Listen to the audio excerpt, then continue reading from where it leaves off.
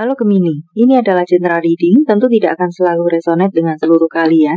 Kabar baik, pesan semesta, apakah untuk Anda? Baiklah, mari kita mulai.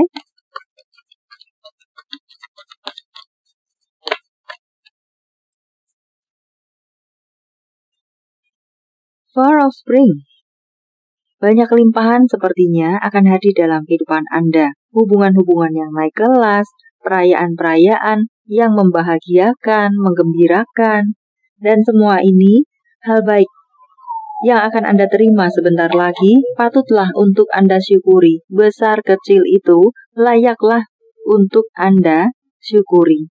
Oke? Okay? hubungan yang naik kelas, kemudian e, pernikahan mungkin, mungkin ada kelahiran, ada kehamilan, dan I love you, do you love me, pernyataan-pernyataan isi hati, semacam itu. Kestabilan ekonomi mungkin di sini, ada yang bisa membeli rumah atau angka-angka mengeluarkan nominal yang cukup besar, selama ini sudah direncanakan dengan baik, akan bisa terrealisasi, membeli mobil, bertamasya, mengadakan acara, ini membutuhkan dana yang cukup besar, dan saya rasa melihat ini Anda akan bisa melaksanakannya, memenuhinya, merealisasikannya. Dan bersyukurlah untuk hal baik yang akan hadir dalam kehidupan Anda tersebut. Three of Autumn untuk berikutnya, saya rasa di sini merupakan pesan untuk Anda, ikutilah apa yang menjadi minat Anda dan semakin kembangkan itu bakat Anda kemampuan Anda, dan semakin kembangkan itu. Untuk berikutnya ada Nine of Winter. Lepaskan ketakutan, kekhawatiran, overthinking Anda.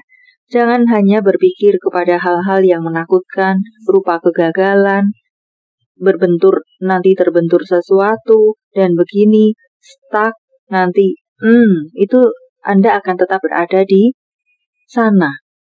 Oke, okay? Anda tidak akan bisa bertumbuh dan berkembang.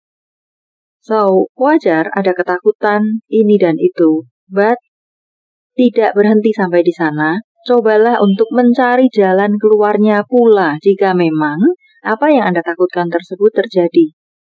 So, mencari solusi pula. Plan A, Plan B, Plan C. Jika Anda tidak membiarkan uh, melepaskan kekhawatiran, ketakutan Anda, Anda akan tetap berada di rawa Anda. Oke? Okay? Baiklah, tidak bisa bertumbuh dan berkembang. Maka sudahilah overthinking Anda. Move onlah, bangkitlah kembali. Baiklah, Six of Summer. Lakukan sebuah perpindahan. Karena setelah Anda mengambil langkah untuk melakukan sebuah perpindahan atau perubahan, di sini banyak hal baik yang akan akan Anda temui atau dapatkan nantinya positive change. Akan ada sebuah perubahan positif dalam hidup Anda, tidak stuck lagi. Justru akan mungkin semakin bertumbuh dan berkembang. Dan untuk beberapa di Anda, jika mungkin memang akan melakukan sebuah perpindahan, entah resonate dengan apa yang saya sampaikan di sini atau terpotong, merupakan kisah tersendiri dalam hidup Anda. Anda akan melakukan sebuah perpindahan, perjalanan, karir, bertamasya, pindah profesi, atau uh, pendidikan, ini Anda akan bertemu dengan hal-hal baik di seberang sana. Apa yang Anda lakukan, perubahan yang Anda lakukan, perjalanan yang Anda lakukan, tidak sia-sia. Baiklah, sampai di sini dulu semoga bermanfaat. Thank you for watching. See you.